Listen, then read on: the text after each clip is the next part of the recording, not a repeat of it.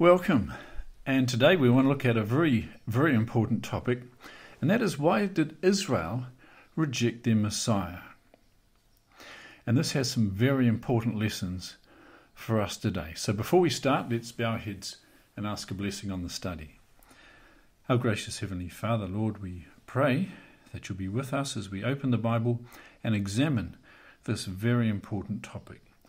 Lord, we want to learn from the mistakes of the past so that we don't repeat them. So guide our thoughts and minds, Lord, as we try to understand why it is that Jesus was rejected when he came. We pray this in Jesus' name. Amen. You know, when Jesus came, he did amazing miracles. He healed the sick, he raised the dead, he gave sight to the blind. And you know, he even cared about the little things of life. For example, he fed a whole multitude when they were hungry after listening to him on the hills for some time. He fed a whole multitude with a little boy's lunch. And you know, his very first miracle was he provided the grape juice at a wedding. So Jesus was concerned about the little things of life. And we read in the Bible, it says, God anointed Jesus of Nazareth with the Holy Ghost and with power who went about doing good and healing all that were oppressed of the devil, for God was with him. Absolutely wonderful. Would have been amazing to have been alive at that time and witnessed firsthand the wonderful miracles of Jesus. But when we come to the end of his ministry, we find this strange scene. We find this in Matthew chapter 27. Here was Pilate bringing Jesus before this multitude of people and he says, What shall I do then with Jesus, which is called Christ? They all say unto him, Let him be crucified. Strange scene. Here was Jesus after three and a half years of ministry, doing wonderful works, healing people, raising the dead, teaching wonderful truths. And yet here was a whole multitude saying, Execute him as a criminal. It goes on to say, And the governor said, Why? What evil hath he done? But they cried out the more, saying, let him be crucified. What a strange scene. Obviously, this was satanic hatred. And you know, the Bible has possibly the saddest verse here in John chapter 1. It says, He was in the world, and the world was made by him, and the world knew him not. He came unto his own, and his own received him not. How can we understand this? We can partially understand maybe the world rejecting him, but here was his own people who'd been prepared by God to receive the Messiah, and they rejected him as well. You know, Paul wrote this in Romans For I would not, brethren, that you should be ignorant of this mystery, lest ye be wise in your own conceits, that blindness in part has happened to Israel, until the fullness of the Gentiles be come in. So even Paul calls it a mystery how the Israelites were blinded. And we want to understand how it was that they became blinded so we don't repeat the same mistake. You know, there's an interesting comment from this Danish philosopher. He said there are two ways to be fooled one is to believe what isn't true, the other is to refuse to believe what is true. And the second one is really the tragedy of the New Testament wasn't that Satan brought along a deception and a delusion and the people received it, rather that the truth came and they believed it was a deception or they were told it was a deception. So, to understand this, let's go back into the Bible and find out what was the expectation of the people in Jesus' day. You know, the people were expecting a Messiah who would make Israel a great nation again, who would remove the Romans, kick out the Romans, and make Israel a powerful independent nation. And they would read the prophecies in the Old Testament that would seem to support this idea. For example, here we read in Isaiah chapter 9 For unto us a child is born, unto us a son is given, and the government shall be upon his shoulder, and his name shall be called Wonderful, Counselor, the Mighty God, the Everlasting Father, the Prince of Peace. Of the increase of his government and peace there shall be no end, upon the throne of David, and upon his kingdom, to order it, to establish it with judgment and with justice from henceforth, even forever. And so they'd read these passages and say, There you go. When he comes, he's going to have control of the government. He'll sit on the throne of David in Jerusalem. This will be a wonderful kingdom. And obviously, for this to be fulfilled, the Romans will have to be removed and will be a free nation again. Here's another prophecy they'd read There shall come a star out of Jacob. Here we go, the Messiah once again. And a scepter shall rise out of Israel. And what would happen? It says, She'll smite the corners of Moab and destroy all the children of Sheth. And Edom shall be a possession. Seir also shall be a possession for his enemies, and Israel shall do valiantly. And you can imagine the Israelites reading these saying, Yes, we can't wait for this Messiah to come. We're going to be exalted as a nation again. We're going to possess our enemies. This is what the Bible's saying. And you know, even the prophecy in Daniel chapter 2 must have given them hope in that sense. You know, this mighty image of the four different metals representing the different kingdoms. And the fourth kingdom, Rome, and here comes the stone down and hits the image. It says, Thou sawest till a stone was cut out without hands, which smote the image upon his feet, that were of iron and clay, and brake them to pieces. And the explanation is later in chapter 2. It says, In the days of these kings shall the God of heaven set up a kingdom which shall never be destroyed. It shall break in pieces and consume all these kingdoms, and it shall stand forever. And you can imagine the Jews saying, Yes, this is what we want. We want a kingdom that's going to conquer the nations of the world, make Israel the most powerful nation in the world. And they would read these prophecies with that mindset. We have some insights here from that book lift him up. It says the Jewish people were cherishing erroneous ideas. They were anticipating grand and wonderful things, hoping for their own personal exaltation above the nations of the earth at the Messiah's appearing.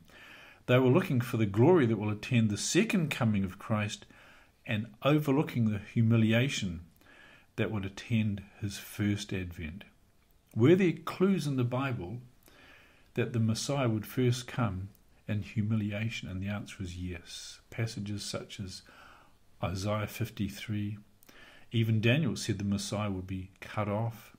So there were enough clues there. Yet this idea was so entrenched in the Jewish people that even after the cross, when the disciples came to Jesus, this is after the resurrection, and they thought, now maybe he's going to restore the kingdom. We read this in Acts chapter 1, verse 6. When they were therefore come together, they asked of him, saying, Lord, wilt thou at this time restore again the kingdom to Israel? This is so entrenched, even the disciples still cling to that idea. Here's an interesting quote from the book Redemption. They thought the coming one would, at his appearing, assume kingly honours, and by force of arms subdue the heathen nations and take the throne of David. Had they, with humble minds and spiritual discernment, studied the prophecies, they would not have been found in so great error as to overlook the prophecies which pointed to the first advent in humility, and misapply those which spoke of his second coming with power and great glory. Interesting. And here's a very telling example here in the book Desire of Ages. It says they rejected their Saviour because they longed for a conqueror who would give them temporal power. In other words, civil power. So let's try to understand the ways in which God was trying to wake up his people that the Messiah was about to come so they would have been receptive to Jesus' ministry and listened to what he had to say. What examples can we find of divine intervention that should have alerted the people that the Messiah was about to arrive? And an obvious one was Zacharias and Elizabeth. It says of these people, they were both righteous before God, walking in all the commandments and ordinances of the Lord blameless. And they had no child because that Elizabeth was barren, and they were both now well stricken in years. So here's a, a couple, a godly couple who feared God. They were righteous and blameless, it says. unfortunately, they didn't have any children. And in Israel, that was considered a very tragic situation not to have offspring. And they were beyond the time when they could bear children. But you know, God was about to do something uh, miraculous here. It says it came to pass that while he executed the priest's office before God in the order of his course, according to the custom of the priest's office, his lot was to burn incense when he went into the temple of the Lord. And the whole multitude of the people were praying without at the time of incense. So here's Zacharias about to do his ministration in the temple, as was his order. And there was a, a whole multitude, it says, praying without. So this what was about to happen was going to be witnessed by a lot of people, many witnesses there that day. And when he went into the temple, what happened? There appeared unto him an angel of the Lord standing on the right side of the altar of incense. And when Zacharias saw him, he was troubled, and fear fell upon him. But the angel said unto him, Fear not, Zacharias, for thy prayer is heard, and thy wife Elizabeth shall bear thee a son, and thou shalt call his name John. And many of the children of Israel shall he turn to the Lord their God, and he shall go before him in the spirit and power of Elias, to turn the hearts of the fathers to the children, and the disobedient to the wisdom of the just, to make ready a people prepared for the Lord. Now, what the angel was saying here was a prophecy which comes from Malachi. You can see the parallels here in Malachi chapter 4, verses 5 and 6. God had prophesied, Behold, I'll send you Elijah the prophet before the great and dreadful day of the Lord. And now the angel was saying to Zacharias, the son that he would have would come in the spirit and power of Elias. And notice the parallel, verse 6 in Malachi chapter 4 says, He shall turn the heart of the fathers to the children. And that's exactly what Gabriel said to Zacharias, that this son of Zacharias would turn the hearts of the fathers to the children. Now, Zacharias struggled to believe this because he was obviously old, his wife was old. And this was the response of the angel Gabriel I am Gabriel that stand in the presence of God and am sent to speak unto thee and to show thee these glad tidings.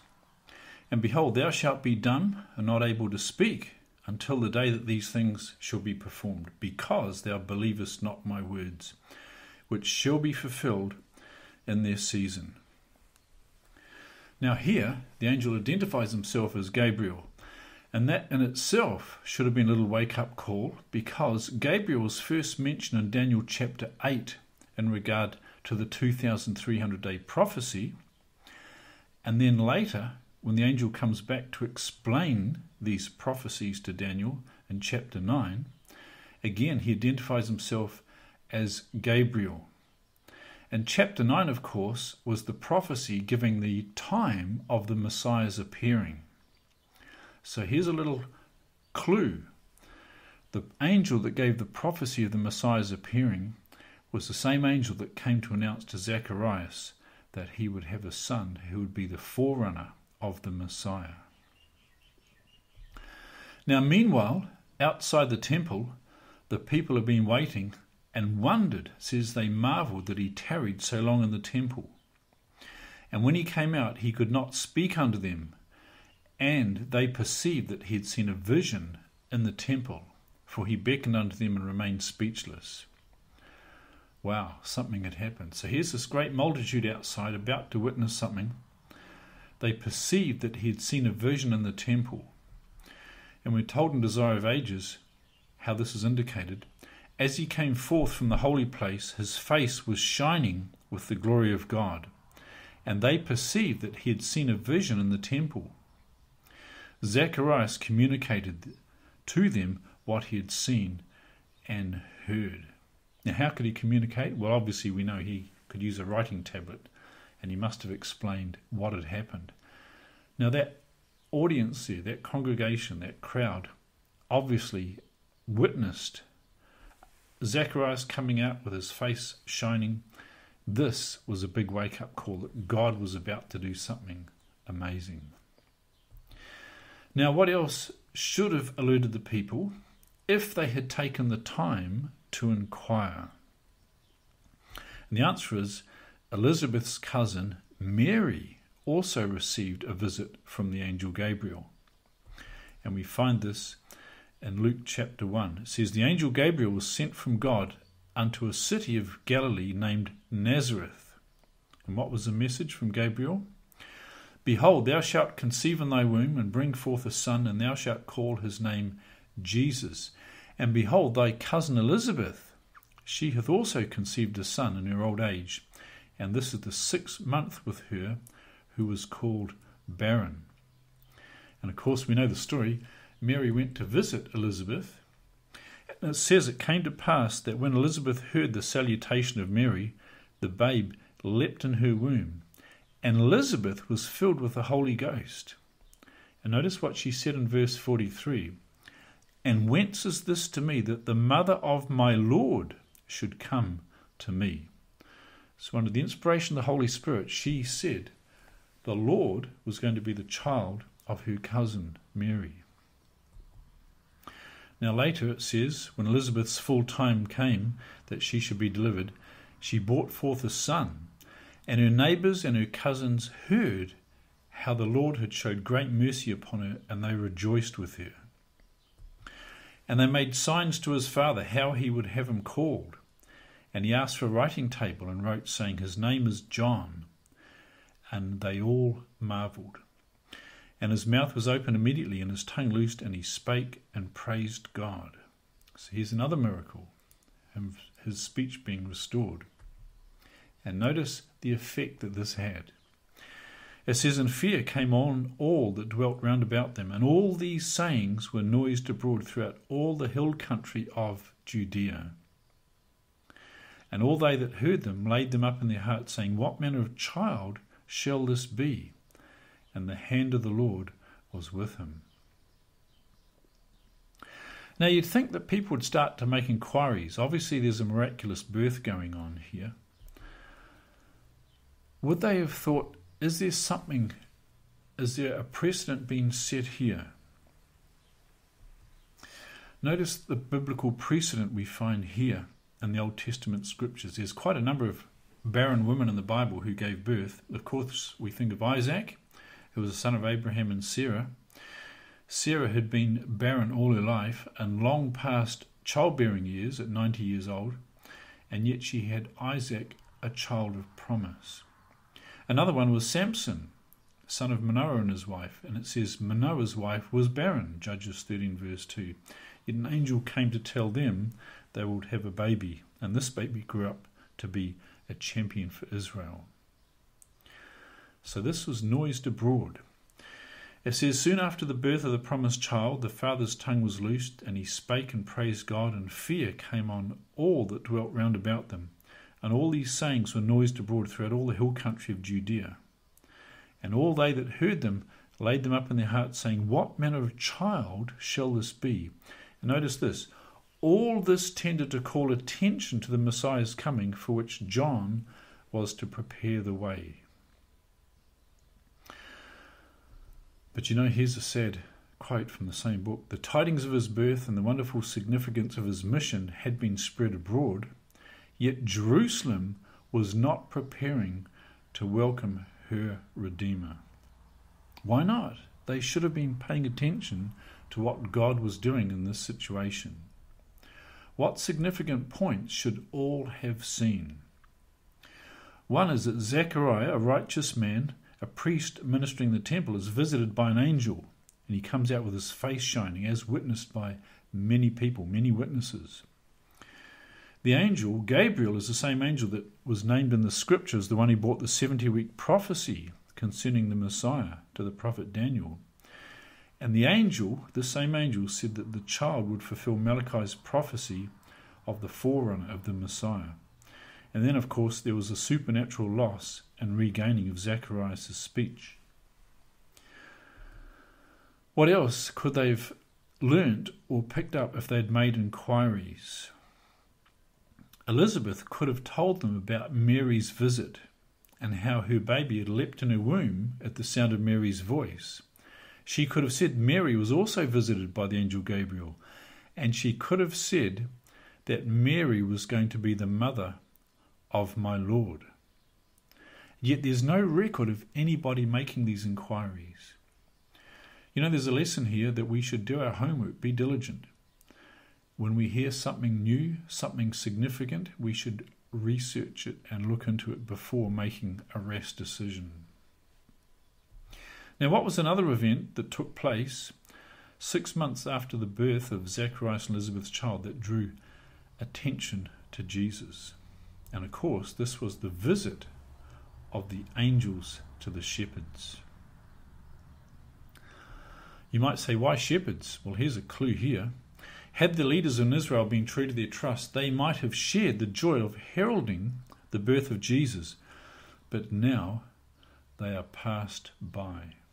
Notice that the angels passed by the leadership in Jerusalem to give the message to shepherds, farm workers, agricultural workers out in the fields. This is what we read in the Bible. And there were shepherds abiding in the field, and lo, the angel of the Lord came upon them, and the glory of the Lord shone around about them, and they were sore afraid. And the angel said unto them, Fear not, for behold, I bring you good tidings of great joy, which shall be to all people.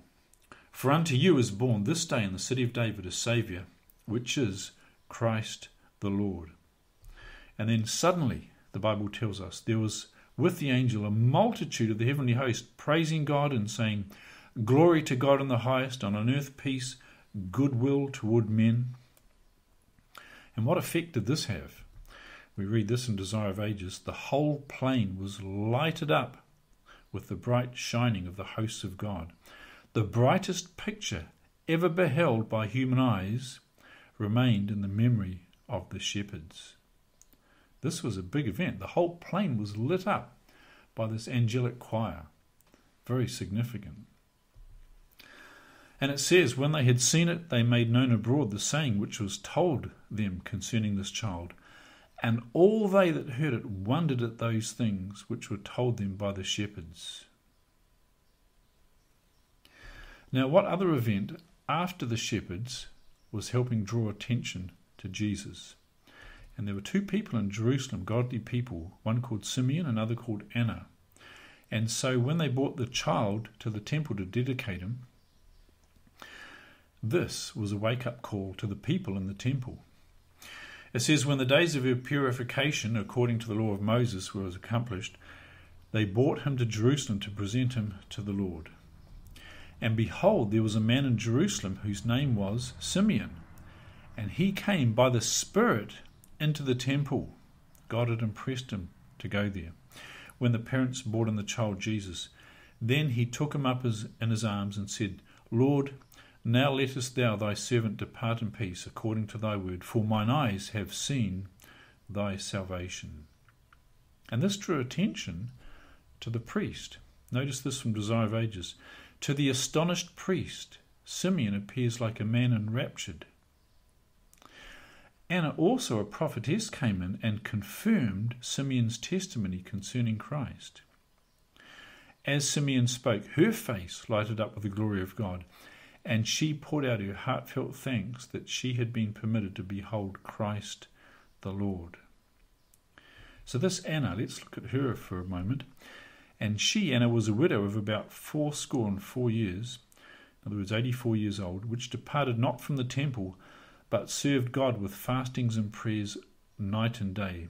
And she, coming in at that instant, gave thanks likewise unto the Lord, and spake of him to all them that looked for redemption in Israel. So Anna told other people about this, that the Messiah was here. She had beheld him. Now, what was the next major event that woke up Jerusalem? Well, it should have woken them up. It certainly caused a stir and that was the visit of the wise men.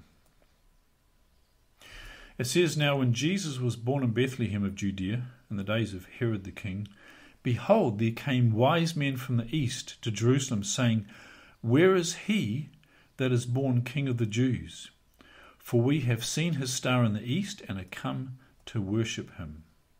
Now, this caused quite a stir in Jerusalem. We read this in Desire of Ages. The arrival of the Magi was quickly noised throughout Jerusalem. Their strange errand created an excitement among the people which penetrated to the palace of King Herod. So the whole city heard about this, and the, the news of this got even to the palace of the king. It says, When Herod the king had heard these things, he was troubled, and all Jerusalem with him. Then Herod, when he had privily called the wise men, and inquired of them diligently what time the star appeared. Now, this is interesting. This drew attention to again the fact that the Messiah was born, these Gentiles coming from afar. But you know, they'd already heard the report of the shepherds. We read this also in Desire of Ages.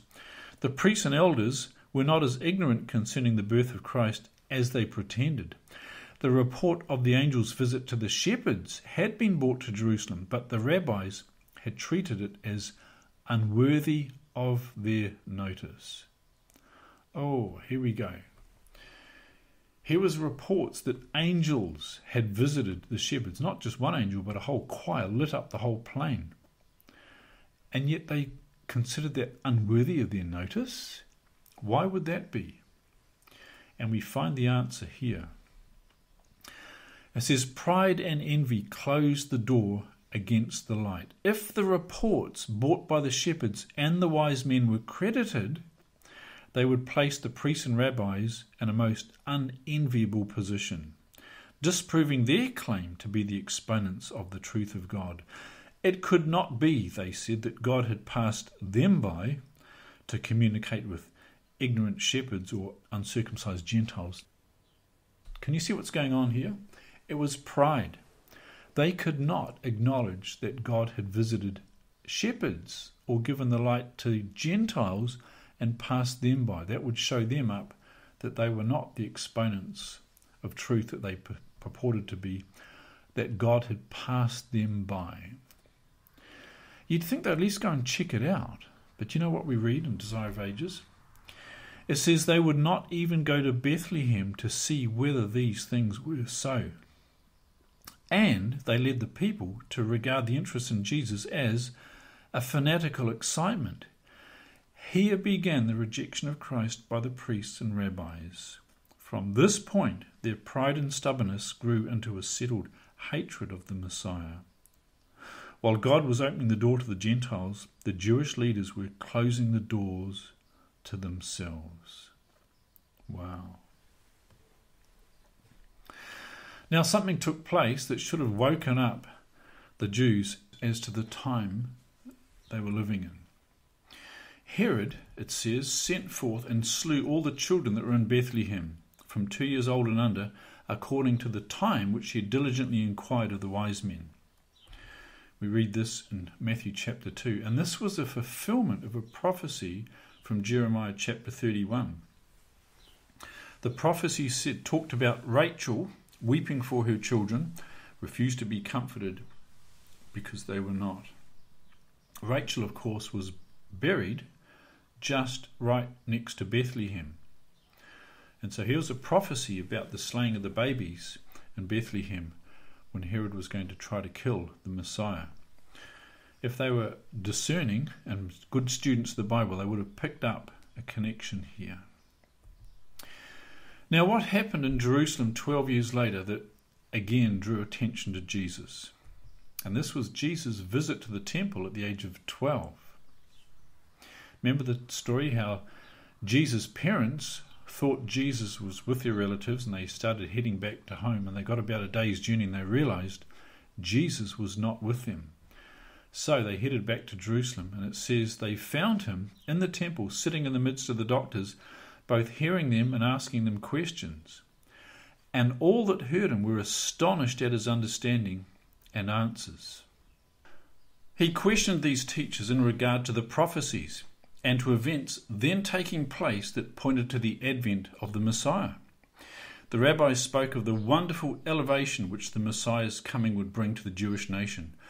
But Jesus presented the prophecy of Isaiah and asked him the meaning of those scriptures that point to the suffering and death of the Lamb of God.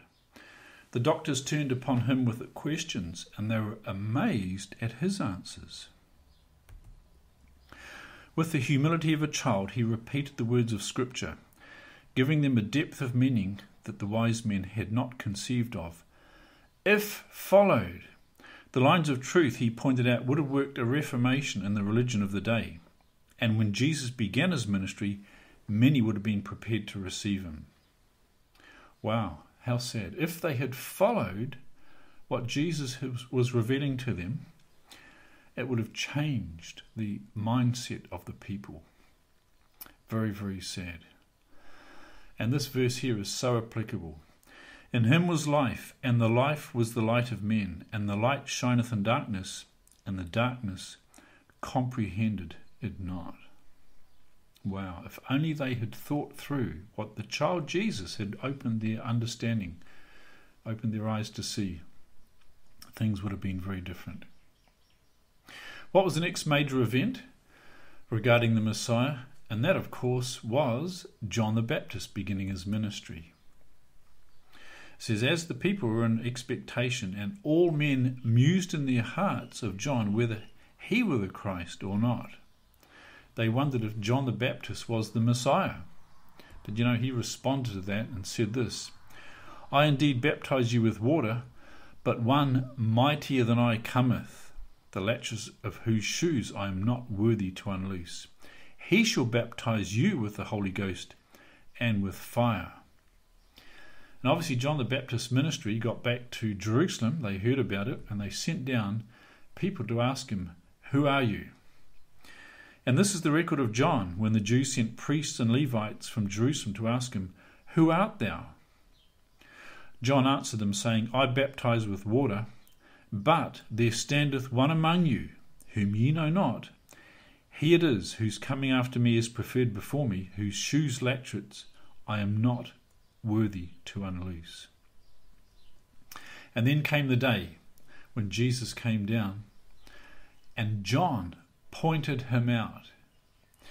Behold the Lamb of God, which taketh away the sin of the world. This is he of whom I said, After me cometh a man, which is preferred before me, for he was before me. Even though Jesus was younger than John, he knew that Jesus had existed long before he was even born.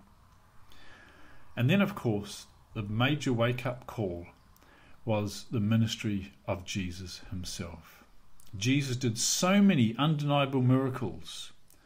This should have woken up the people that here was somebody led of God in amazing ways. But you know what the Bible tells us? But though he had done so many miracles before them, yet they believed not on him. Now, the leaders were not ignorant of Jesus' ministry. We read this. The success of Christ's work was reported also to the authorities at Jerusalem. The priests and rabbis had been jealous of John's influence as they saw the people leaving the synagogues and flocking to the wilderness. But here was one who had still greater power to attract the multitudes. Those leaders in Israel were not willing to say with John, He must increase, but I must decrease. They arose with a new determination to put an end to the work that was drawing the people away from them. What was the issue here? They liked the adoration of the crowds, and here was a person drawing the crowds to him, even more than John the Baptist. And so they opposed Jesus during his ministry. They bitterly fought, they spread false rumours against him.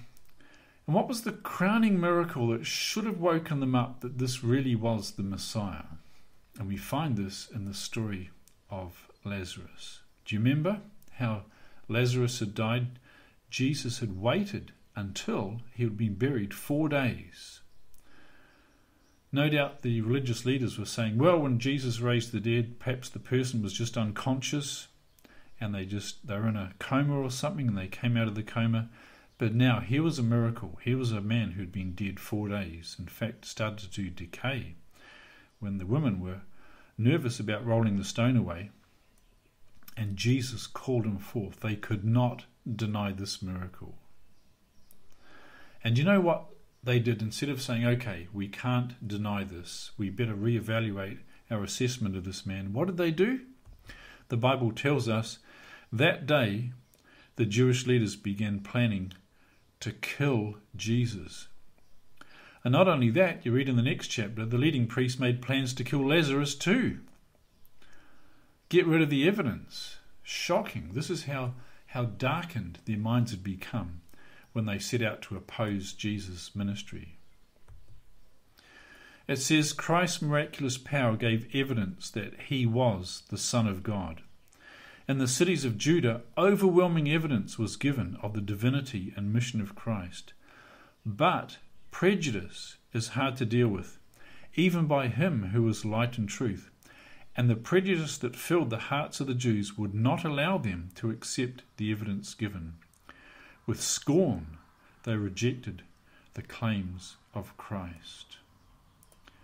So sad. It was prejudice, unnecessary prejudice, built up against Jesus that caused him to reject the Son of God. Have a look at this quote here. When Christ was upon the earth, the people flocked to hear him. So simple and plain were his words that the most unlearned among the people could understand him, and his hearers listened as if spellbound. This enraged the scribes and Pharisees. They were filled with envy because the people listened so attentively to the words of this new teacher. They determined to break his hold upon the multitudes. They began by attacking his character saying that he was born in sin and that he cast out devils through the prince of the devils. They'd become so prejudiced, so envious, that they began interpreting the works that Jesus did through the power of God as the work of the devil. That's blasphemy. Very, very sad. But that's what pride and prejudice and envy leads you to. You know, even Pilate, when the Jews delivered him up to him, knew what was going on the Bible says Pilate knew that for envy they had delivered him. So here's a list of clues that should have woken up the Jews that the Messiah was here. Gabriel's visit to Zacharias and the miracle child they had, who was to be the forerunner. Elizabeth could testify that Gabriel had visited Mary and Mary would become the mother of her Lord angels announcing the birth to the shepherds, the wise men coming to Jerusalem saying the prophecy had been fulfilled, they'd seen his star. Then Jesus, the age of 12, astonishing the learned wise men of Jerusalem. Then, of course, John the Baptist announcing the Messiah, and then Jesus' own ministry of three and a half years, all the miracles and proofs that he gave. And yet, despite all that God was doing to wake them up, prejudice, and envy and got in the way. You know, it says this in 2 Thessalonians For the mystery of iniquity doth already work, the working of Satan with all power and signs and lying wonders, and with all deceivableness of unrighteousness in them that perish, because they received not the love of the truth, that they might be saved. Brothers and sisters, we need to have a love for the truth whatever it may be, wherever it leads, don't let pride or envy or prejudice get in the way of receiving the truth of God. It's vital. It was the downfall of Israel, and it's going to be the downfall of many people today. You know that wonderful text in John 3:16 for God so loved the world. If you keep reading after that, we find this very interesting passage which indicates why people will be condemned and lost in the future judgment. It says, This is the condemnation that light is come into the world, and men love darkness rather than light because their deeds were evil. For every one that doeth evil hateth the light, neither cometh to the light, lest his deeds should be reproved. Amazing. Once you go down the track of wanting to stay in darkness, rejecting the light, this is where you go. It says, All the people were amazed and said, Is not this the son of David? But when the Pharisees heard it, they said, This fellow doth not cast out devils, but by Beelzebub, the prince of the devils. they determined that his miracles were not of God, even though they were. Blindness, blindness. Shocking, but that's the reality of what happened. And human nature hasn't changed. It's amazing. The fact that Jesus spoke the truth, and that with certainty was why he was not received by the Jewish leaders, it was the truth that offended these self righteous men. The truth exposed the fallacy of error, it condemned their teaching and practice, and it was unwelcome. They would rather close their eyes to the truth than humble themselves to confess that they had been in error. Amazing. Too much pride, and that's what it led to. The sin of the scribes and Pharisees was the sin of placing the heavenly work which had been wrought before them in the darkness of unbelief, so that the evidence which should have led them into a settled faith was questioned, and the sacred things which should have been cherished were regarded as of no value. Now, why is this important for us? Because human nature has not changed, it's going to happen again in our day. Look at this quote here.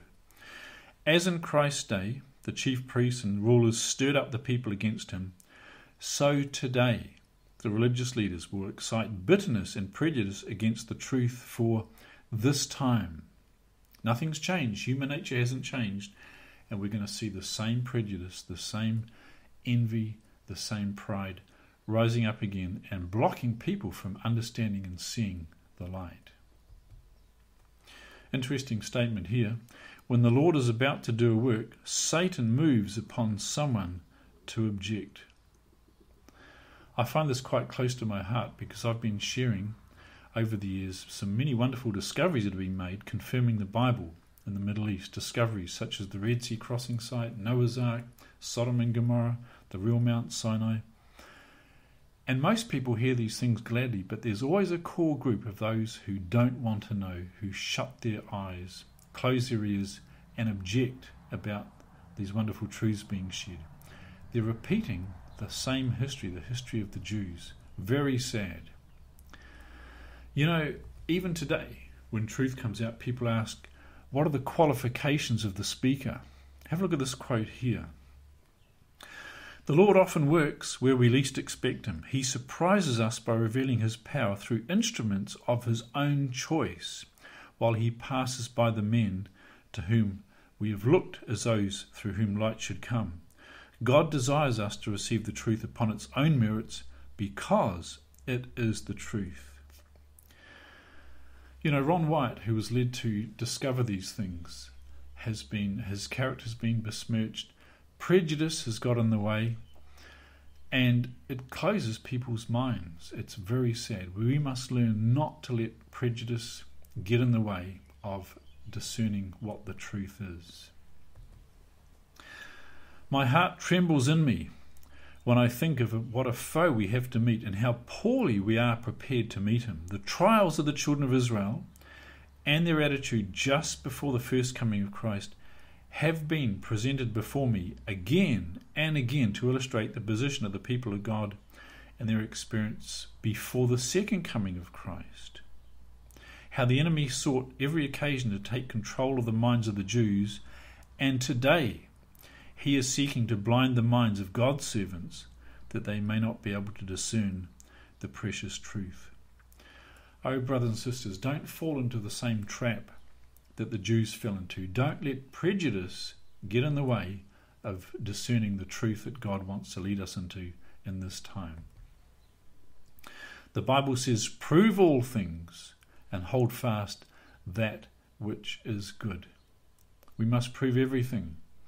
But if it's true, if it's genuine, then hold fast. We know Satan's going to have many delusions today. We know that. That's why it says, prove all things, and if it's good, hold fast onto it. This is vital. Let's close with a prayer. Our gracious Heavenly Father, we don't want to repeat the history of the Jews. Guide us that we may be ready to discern the truth when it comes. Lord, don't let prejudice or envy or pride rise up in our hearts and close our minds to the truth that you want to reveal in these last days. Lord, we pray that we may not repeat the mistake of the Jews, but help us to be humble, receptive students of your word, that when light comes, we may be ready to accept whatever it is that you want to shed upon our path. And we pray these things in Jesus' name. Amen.